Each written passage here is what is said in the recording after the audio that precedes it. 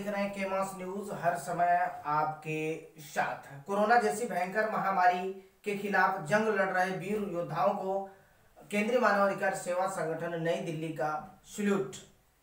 केंद्रीय मानव अधिकार सेवा संगठन नई दिल्ली ने आजमगढ़ तरमा ब्लॉक के पदाधिकारियों ने प्राथमिक स्वास्थ्य केंद्र तरमा जाकर डॉक्टर टीम को फूल, माला व फल देकर किया सम्मानित। कहा कि आप कोरोना महामारी के लिए लड़ाई लड़िए, हम आपके साथ सदैव तैयार रहेंगे।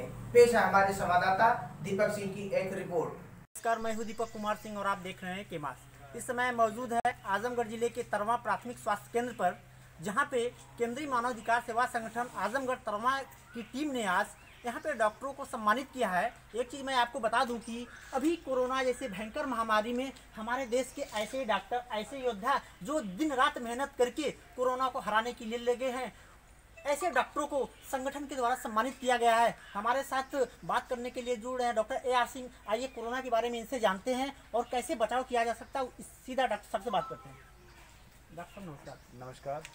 सर, ये बताइए कि जिस तरह से कोरोना जैसी भयंकर महामारी में जहाँ एक तरह लॉकडाउन की स्थिति बनी हुई है इसके बाद भी आप लोग दिन रात मेहनत करें, क्या डर नहीं लगता? इसके बारे में आप बताइए। डर सभी को लगता है। यहाँ पे सारे, पूरा आप देख रहे हैं, सारा का सारा स्टाफ यहाँ पे है इस वक्त। डॉक्टर शिव कुमार बगल में खड़े हैं डॉक्टर पुष्पा हैं, बाकी मेरा स्टाफ है, कुछ लोग जो है कि डॉक्टर देवेंद्र बांसगांव में हैं। तो डर सभी को लगता है, परिवार सबका है, लेकिन देश के लिए और समाज के लिए जो है कि एक सुरक्षा का जो दायित्व है, जो गवर्नमेंट ने हम लोग को दिया हुआ है और उस कीमत को जो है कि हम लोग को चुकाना है और बहुत ज़िम्मेदारी के साथ इस बात को महसूस करते हैं कि we are the front line warriors तो इस चीज़ को हम लोग को निभाना है। जब तक भी ये बीमा- ये बीमारी ये आपदा जो है जैसे चली नहीं जाती है तो हम पूरा समय पूरा समूह पूरे हिंदुस्तान में पूरा डॉक्टर का समूह इस काम को करता रहेगा। जिस तरह से सर यह जो बीमारी की जो केसेस की संख्या है लगातार बढ़ रही है इसके बाद भी जगह जगह सोशल डिस्टेंस को मेंटेन नहीं किया जा रहा है। क्या कारण? लोग इसको हल्के में ले रहे हैं।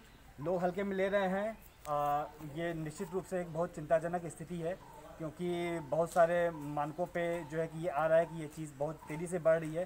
भारत सरकार ने बहुत सही समय पे इसके लिए कदम उठाए हैं ताकि जो है कि लॉकडाउन का पालन हो सके, लेकिन कुछ लोग इस बात को नहीं समझ पा रहे हैं। निश्चित रूप से बहुत ज़्यादा चिंताजनक स्थिति है, क्योंकि आप सभी को पता है कि जब इन्फेक्शन होता है इन्फेक्शन के बाद उस व्यक्ति को सिम्टोमेटिक होने में, यानी उसमें लक्षण आने में दो से चौदह दिन का समय लग जाता है। तो इस समय में जब जब उसके नीचे उसको कोई डायग्नोज नहीं किया जा सकता है इस चीज़ को लोग समझ नहीं पा रहे हैं कि वो डायग्नोज अगर नहीं भी हो पा रहा है तब भी, भी वो एक पोटेंट कैरियर है। तो जिस दिन लोग इस बात को समझ जाएँगे कि किसी को भी हो सकता है तो उस दिन हम उसको लगता है कि लोग सारे लोग इस बात इस बात का पालन करेंगे। सर समाज के लिए क्या संदेश देना चाहते हैं? समाज के लिए संदेश है कि जो भारत सरकार ऑलरेडी पहले से कह रही है उस नियम को उस कायदे को आप लोग सभी लोग माने। मैक्सिमम लोग मान रहे हैं बहुत थोड़े से हमारे साथी ऐसे हैं जो इन बातों को अभी नहीं समझ पा रहे हैं। मैं सभी से दरख्वास्त करूँगा, हाथ जोड़ के दरख्वास्त करूँगा कि सभी लोग कृपया करके अपने घरों में रहें। अति आवश्यक कार्यवश ही अस्पताल में या किसी भी किराने की दुकानों पे जिनसे बिल्कुल जीवन यापन होता है, केवल उन्हीं सेवाओं का उपभोग करें और घरों में रहें। सुरक्षित रहेंगे तो देश आगे बहुत बढ़ेगा। अगर सुरक्षित ही नहीं रहेंगे, अगर हमारे जनसमुदाय हमारे साथ नहीं रहेगा तो देश को आगे बढ़ाना बहुत मुश्किल हो जाएगा। यह थे हमारे साथ बात करने के लिए डॉक्टर ए आर सिंह। इन्होंने सीधा साफ़ साफ़ शब्द में कहा है कि अब कोरोना ऐसे भयंकर महामारी से जो बचने का जो एक ही तरीका है वह सोशल डिस्टेंस को मेंटेन किया जा सके और इसी के साथ संगठन के पदाधिकारियों से भी हम बात करेंगे, जिन्होंने डॉक्टरों को सम्मानित किया है।